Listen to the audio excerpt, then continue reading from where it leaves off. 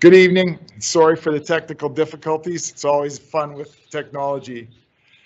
I'd like to invite all of our, our, our parents and our students and welcome them to our virtual advanced placement information open house today. We are super, super stoked to be able to, to give you a huge amount of information today. I'm Ken Wallace. I'm the principal here at Bev Facey. And I just want to say to everyone, thank you for joining us today. Um, AP is one of the pillars here of our Bev Facey Community High School life. Um, it's one of those pieces that you know and associate with Bev Facey whenever you walk through the door. It's basically an opportunity for students to explore their passions in their areas of academic interest.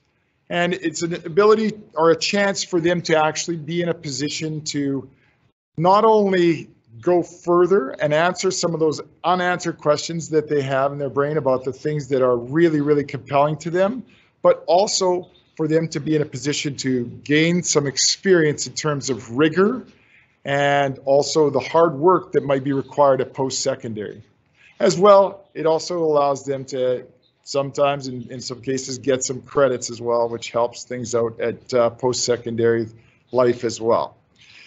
Tonight, there's going to be a lot of unanswered questions. Please don't hesitate um, to contact the school. I mean, we're going to try our best to answer those questions as we move through the night and in our chat rooms, but don't hesitate for a second to please give us a call.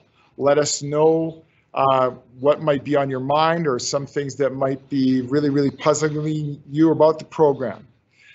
Please be reminded that Bev Facey does have open boundaries at this point in time and that registration is occurring all the way through February. All students throughout EIPS are welcome to come to Bev Facey to join our advanced placement program. And I look forward to, to meeting you all and working with you next year. At this point, I'd like to pass on uh, some more information and also some introduction and also our presentation to be handled by Assistant Principal, Ms. Williamson.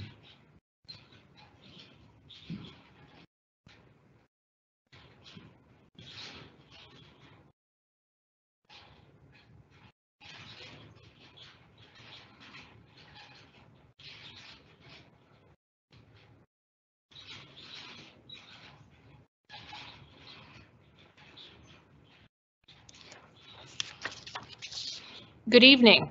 I'm Trudy Williamson, the Grade 10 Administrator and Advanced Placement Coordinator here at Bev Facey. I'm very excited to welcome you to our Advanced Placement Virtual Open House. The Advanced Placement Program is an integral part of academics at Bev Facey, and we are excited to share this opportunity with you tonight.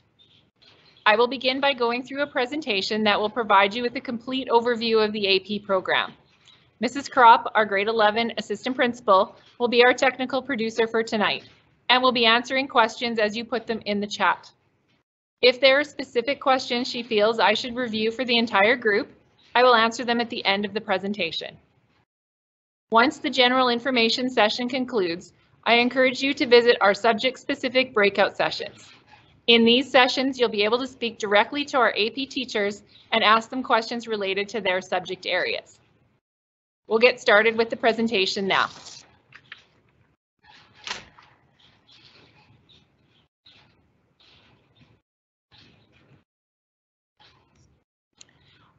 Often we get the question of what exactly is advanced placement. In short, it's an opportunity for high school students to really challenge themselves through academic rigor, which can translate into academic program financial benefits at the post-secondary level. Can anyone register for the advanced placement program? Yes. However, we recommend that students who are considering our advanced placement program really show mastery in the prerequisite courses. Usually this would be having a mark of at least 80% in the prerequisite course. So for those of you that are coming from junior high, we would like to see you have 80% in the core subject areas that you're looking at continuing in our advanced placement program.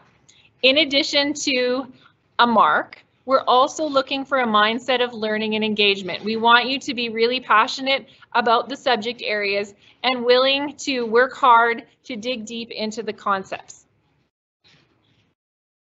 We have a number of AP courses that we offer here at Bev Facey. You can see from the list that this includes both option area courses as well as core subject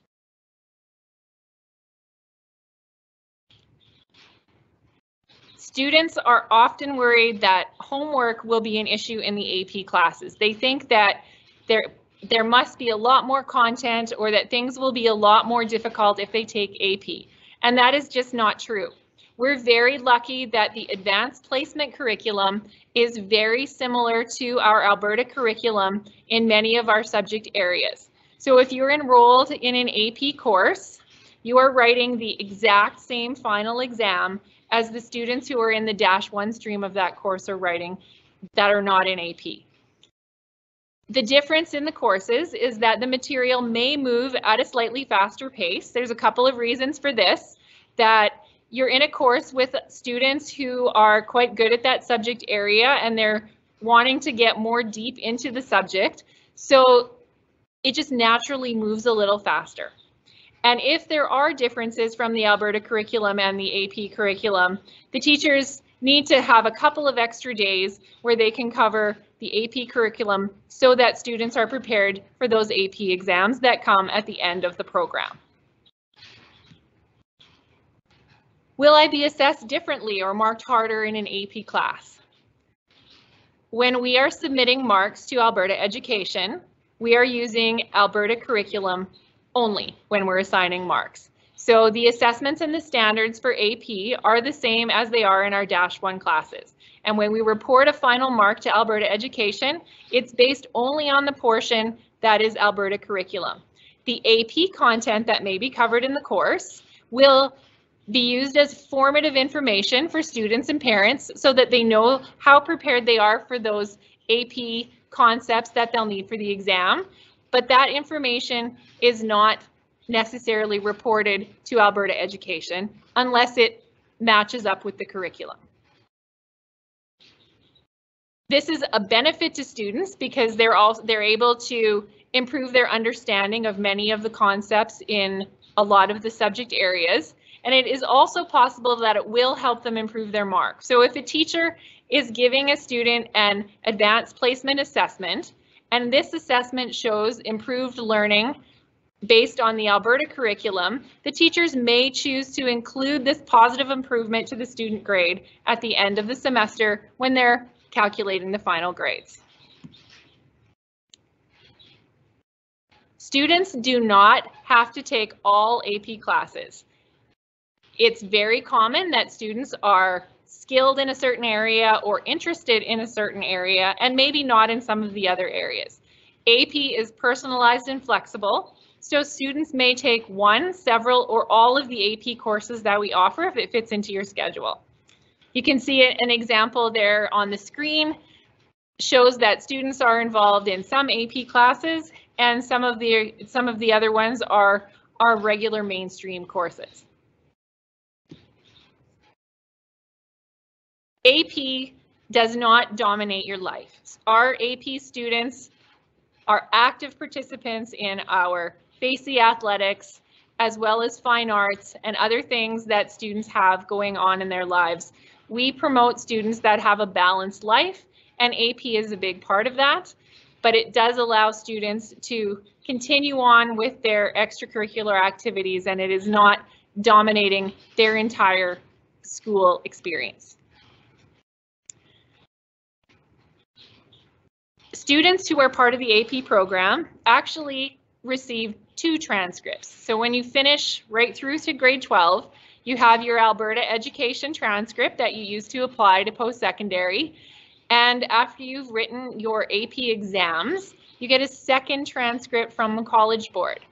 Post-secondary institutions look at both of those transcripts and they always look for the higher grade. So there is no disadvantage to taking those AP exams because the post-secondary institutions will take whichever mark is higher.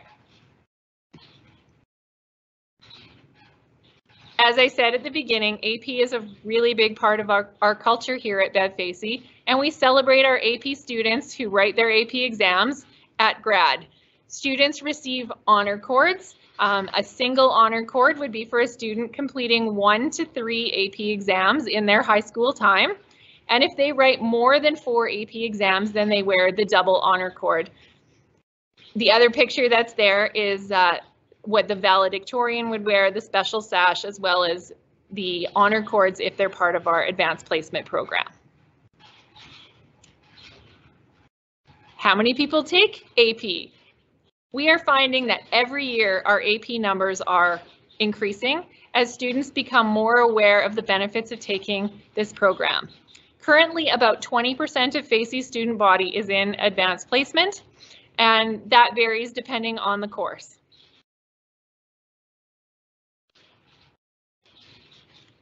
The AP exams. We strongly encourage all students registered in AP courses to write the exams. That is the whole purpose of the program is to go through the experience and finish off by preparing for the exams. There are many good reasons for doing this. Some students say, well, they don't they don't necessarily want to write the exam because they don't feel they need it. They're happy with their Alberta education mark. The exam is more like a college level experience. So we recommend that students complete the exams because it is a, a no risk way of them getting that experience so that when they start their post-secondary lives, they are well prepared and they're comfortable in the environment and they're more likely to do better in their first year when they have to write those post-secondary exams. The exams happen in May usually about the 9th or 10th of, of May.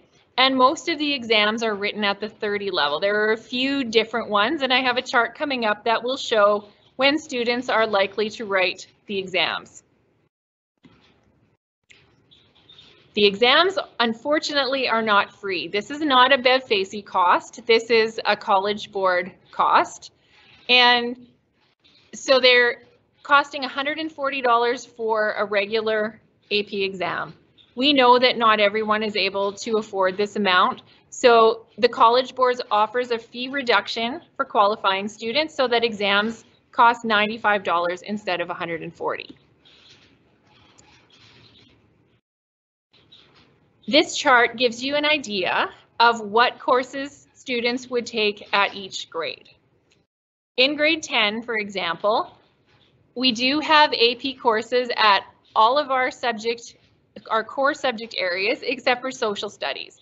And the reason for that is because the curriculum just doesn't align with the uh, social studies and the AP curriculum in that area. So in grade 10, students could take AP courses for all of the core subjects except for social studies. These are considered AP prep courses. They There is not a lot of AP content covered it's just to get students used to the pace and the rigor that they might experience in grade 11 and 12.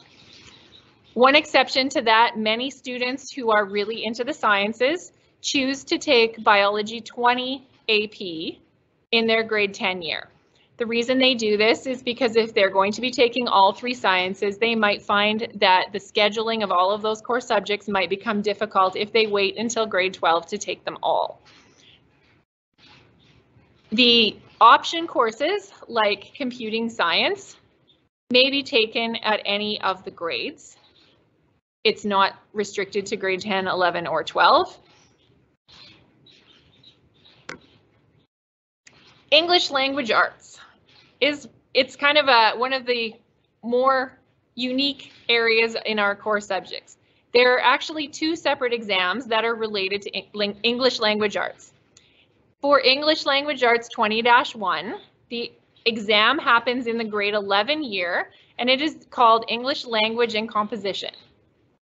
For English 30-1, there's a separate exam for that, English Literature and Composition. Students may choose to write one or both of the exams. It's not required that they have taken the English language and composition in order to write the English literature and composition. One other point that I want to make about the English language arts in particular as an AP area. I would strongly recommend that students who are considering taking English language arts 10-1 AP not only be students who received 80% or better in their English Language Arts 9, but sh they should be students who really enjoy the English Language Arts, that they're passionate about reading and they really want to dig into some of the classics like To Kill a Mockingbird. While I said previously that there was alignment between the Alberta curriculum and the AP curriculum, that is certainly true in English Language Arts 10-1, but the literature selections that are chosen are different between the courses because in English Language Arts 10-1, students are reading literature that will help them prepare for their exams that they may choose to write in grade 11 or 12. Social studies, again, does not have an AP course associated to it. So if you're wanting to do a full AP program, you would just register for social studies 10-1. Mathematics has two separate areas that students can choose from. We have calculus, which for that stream, students would do math 10C AP, then they would move into math 20-1 and 30-1 AP, and then they would finish off with math 31 AP, and then write the calculus exam. We have a second course, statistics AP, which could be written in either grade 11 or 12. We find that calculus is very important for students entering any of the STEM related fields or business. If you're going to be going into a post-secondary program that will require you to take calculus in post-secondary, it is a very good idea to have some experience with calculus in high school. Statistics is also a very important course for students entering many different post-secondary programs. Even if you're going into the Faculty of Arts, it is very possible that you will encounter a statistics course. So taking statistics in high school, again, is a great way to prepare yourself for post-secondary. In science, there are four separate exams for students biology AP, which most students tend to take in grade 11 for their exam because they've done bio 20 in grade 10. Uh, it is also possible that you take it in grade 12 though. Chemistry 30 and physics 30. There are actually two physics exams. So that's where I get four from my, my total at the beginning. Chemistry and Physics 30 are interesting because they are taught as year-long courses on opposite days. So if you're looking at taking those courses, it's best that you take them in the same year because then they go opposite each other and you don't end up with a strange spare in your schedule. It is possible to do them separately. It's just they take up a whole block all year long for each one.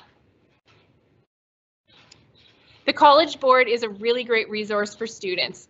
In, as well as having your teachers who will provide you with all the information you need. You have access to AP Classroom through the College Board where there are all kinds of practice questions and lots of online topics and videos for you to help to prepare for your AP exams.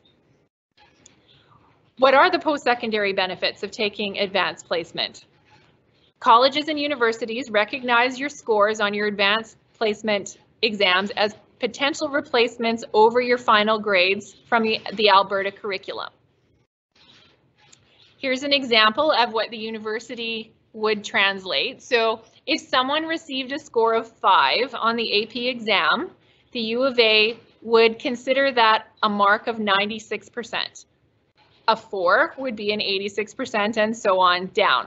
So if we're talking about a course like Math 30-1, if you got a five on the AP exam, you would submit a 96% for your admissions average as well as whatever you got for your Alberta curriculum. So the university would see both of those marks on there and they would take whichever one is higher.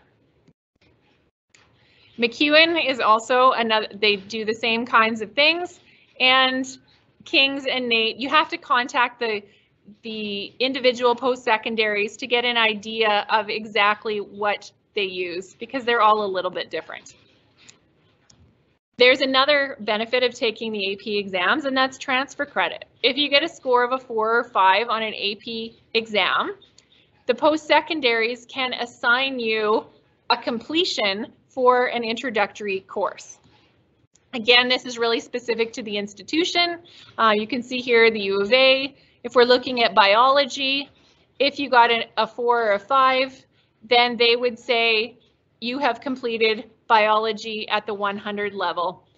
So that's a course you don't have to take when you get to post-secondary. MacEwan is exactly the same kind of idea. Many of the institutions are also considering a more holistic application process. So they're looking at our students challenging themselves by taking a rigorous program such as AP instead of, you know, the regular dash one path. And the style of exam that you write in AP is unique and a great learning opportunity for students to prepare themselves for the post-secondary experience. We are extremely excited to be reintroducing the AP Capstone program for next year. The Capstone program consists of three courses. In grade 10, you would take the Capstone Prep course, then you would do AP Seminar in grade 11 and AP Research in grade 12. So for incoming grade 9 students, we would want you to choose the Capstone Prep. For those of you that are in grade 10 at Bev Facey or somewhere else and are looking to come to Bev Facey for grade 11, you could take the capstone prep or you could go straight into the AP seminar class. The capstone program is a research-based program where students look into areas that they are passionate about and that they want to do research in, and they make collaborative projects and eventually in the AP research course finish with a research paper the U of A recognizes this capstone diploma by awarding three 100 level credits to students. It is students who complete this program are highly regarded by post-secondary institutions because they are extremely well prepared by the skills that they've gained through this program. Vertical teams, as I've said, the courses go from 10 to 20 to 30. The teachers all work together and they weave all of the advanced placement concepts into the various courses so that there is not a lot that students would need to look at on their own. It's covered by the teachers, whether that be through seminars that happen or during our Alberta curriculum. Our teachers are very qualified to be teaching the advanced placement courses. They attend professional conferences and professional development sessions currently online, um, but there are also conferences that they have attended in the past in person. There are in this presentation student videos, which I'm not going to show because it doesn't translate well through the uh, virtual presentation, but I will be posting a copy of this presentation on our website. So please feel free to take a look at those student experience videos on your own at home we covered the costs already. I guess one thing I didn't mention was that there, you know, there is a cancellation fee. We do want students to commit to writing the exams and the College Board gives us a deadline for registering our students and they charge us a cancellation fee if we cancel. As Mr. Walla said at the beginning, Elk Island Public Schools re registration is in February only. Facey will accept all students who want to come here to take advantage of our fantastic advanced placement program. But it is very important that you don't miss deadlines. So if you are interested, make sure that you complete your returning student registration during February. Uh, we are an open boundary school and we will accept all students who apply. We have our teachers on standby now with the breakout sessions. There's a couple of different ways for you to get to these sessions. Um, we have on our website, on the home page, where it says Advanced Placement Open House. If you go in there, it tells you the name of each of the sessions, and if you click on that, it will link directly to where the teachers are waiting to answer your questions. Um, Mrs. Kropp, are there any questions that have been asked that I haven't answered? She says, no, we have uh, managed to cover them all through the presentation. Um, if you have any questions after this presentation, you can contact me by email. I would be happy to answer any questions by email or feel free to give me a call here at the school. I will be in charge of the capstone breakout session. So if you want to pop into that one, you will find me there and you can a- you can ask me questions about AP capstone or about any other AP items that you might have. Thank you again for taking the time to join us. Please go talk to our teachers. They are the experts and they will be happy to answer your questions.